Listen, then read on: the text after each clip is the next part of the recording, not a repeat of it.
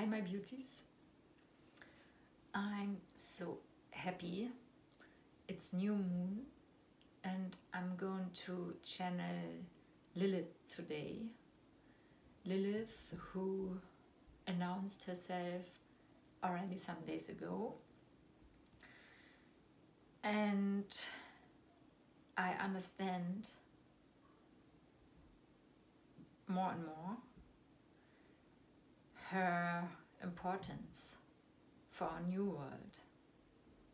And I'm so happy that I can channel her today. And I connected already um, to her in this morning meditation that I made, that I do every day, every morning. And I felt her power and her force, which is very intuitive and instinctive force. It's the feminine.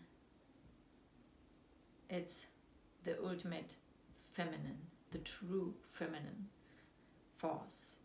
But what I felt as well is a demonic, demonic force,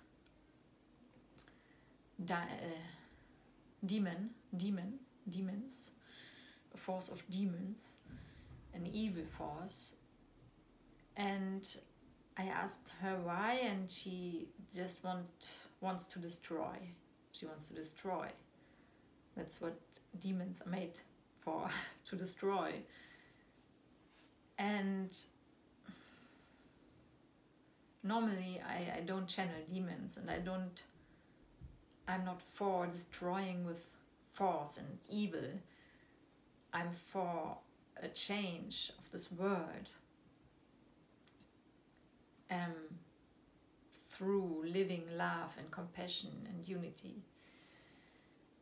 But she wants to destroy these old constructs that there are. These old constructs where women are less worthy than men. And this in every one of us, in men and women. So it's not a, a gender story. Um, we find this feminine and masculine in each one of us. And she wants us to give this feminine energy free, our intuition, our instincts she wants that this feminine energy has the same importance in our life as this masculine energy. And that's why she wants to destroy. She wants to destroy, and she's powerful. She wants to destroy old constructs in which this is not given.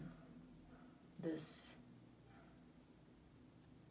balance this equally um, between or of our two parts, our feminine and our masculine. Yes. And I, I feel as well that I asked then for her core, for what she came for here. And this is just instinct and this pure feminine power, this what is not um, uh, mind, but very instinctive and very like a deep, dark mud, but at the same time very powerful, an instinctive, intuitive power. And I think this demon parts of her are there because she was she's an energy out there. And we feeded her for millions uh, thousands of years with this demon uh, attributes. For thousands of years she she was called a demon and that's how she became her energy became demon but in in because we demonized, or the church demonized, her feminine energy.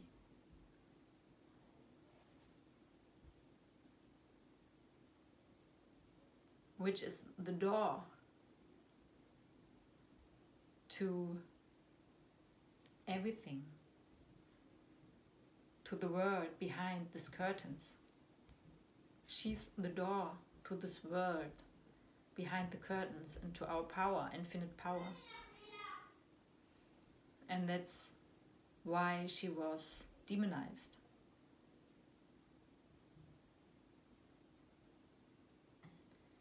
And we made a demon of her, and that's her energy now.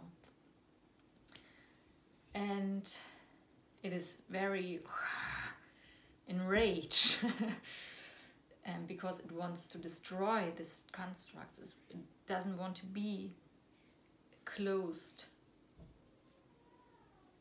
It doesn't want to be suppressed anymore. Yes. And i'm going to channel her in a church in an old church. And i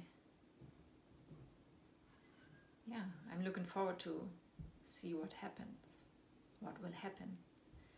And I think she's so important for our time now to, yeah.